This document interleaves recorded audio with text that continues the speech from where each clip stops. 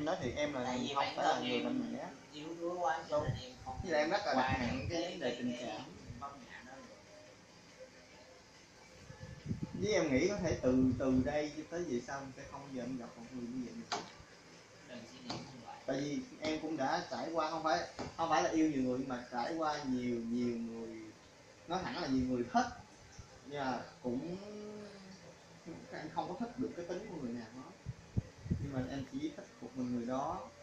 Là cũng nhiều người rồi cho nên em thấy em chưa chưa có thấy ai mà thấy được hơn người đó. Chưa từng. Em em người à tên chuyên gia tâm lý rồi nhưng mà sau đó thì sao? Cuộc đời nó dài lắm mà.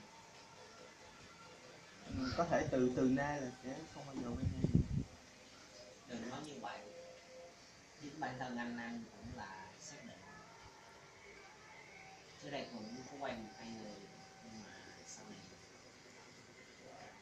nói được vậy đâu dạ anh đã quen được người khác luôn rồi được không?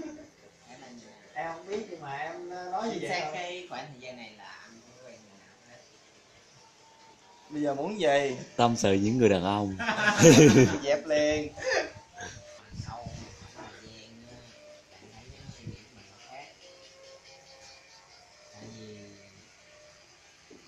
Mình nó đúng không ở cái thời điểm này em suy nghĩ như vậy nhưng mà sau một khoảng thời gian nữa em tiếp xúc với cuộc sống với đời sống với rất là nhiều lớp xã hội em sẽ trưởng thành hơn.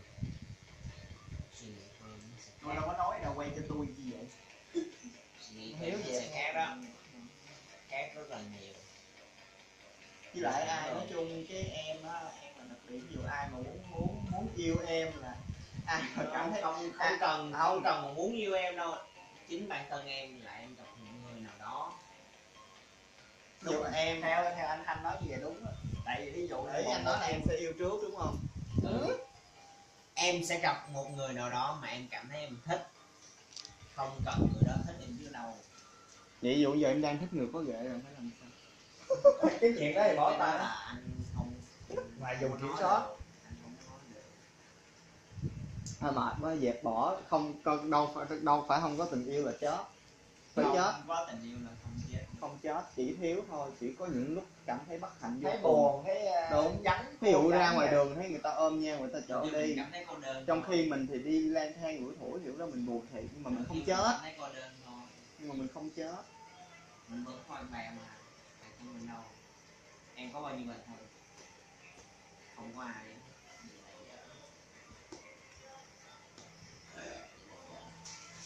nhất trong cuộc đời mình mình có một một một người bạn thân. Anh nói thẳng anh có là tới năm năm người. Mà với mà em nói Tới- đừng. Cầm cái bụng. Cái bụng y như bự Đó, đến. Y chang như là bự Không, mà nó- Trong trong nó đầu luôn đó. để cho nó nằm chút đừng có vậy đó. Đôi khi là bạn thân là không có nghĩa là mình sẽ chúc hết cả lòng mình cho người đó biết. Ừ. nhưng mà lúc mà mình buồn á người đó bên cạnh mình. Không vô. Vô, anh Thanh nãy giờ anh Thanh nói rồi, không vô sao được. À, uống với à, hồi chiều viết lên bảng là gì không phó giáo sư tiến sĩ thạc sĩ cử nhân điều dưỡng trung cấp vũ di thanh. Ới lộn. Ờ Lu- Lucifer.